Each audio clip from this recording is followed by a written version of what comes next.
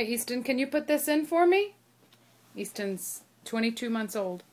We just figured out he can do this on his own. Eject button.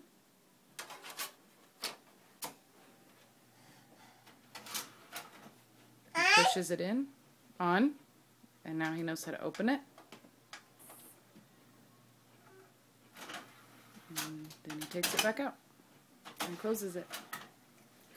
Good job.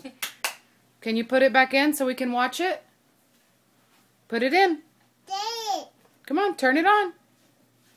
Put it back, Easton. Can you put it back?